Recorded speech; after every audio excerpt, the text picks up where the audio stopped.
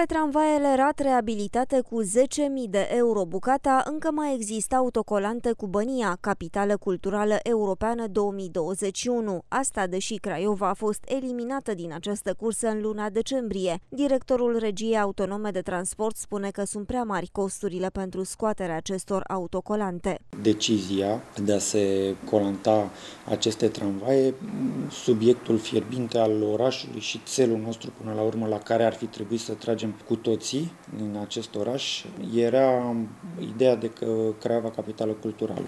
Pe unele dintre tramvaie a fost aplicată sigla uh, asociației, asociație care este în vigoare în, uh, în continuare, este o asociație culturală din ce știu eu, în care face parte atât uh, municipiul Craiova, cât și celelalte organisme de cultură din Craiova și multe alte instituții publice. Am ales să nu dăm acest lucru pentru a nu genera costuri suplimentare nu este aplicat un stick cu uh, Craiova Capitală Culturală în sensul în care să dăm sticul respectiv, ci sunt fășii foarte mari și ne-ar fi costat foarte mulți bani, bani pe care uh, nu avem atât de mulți.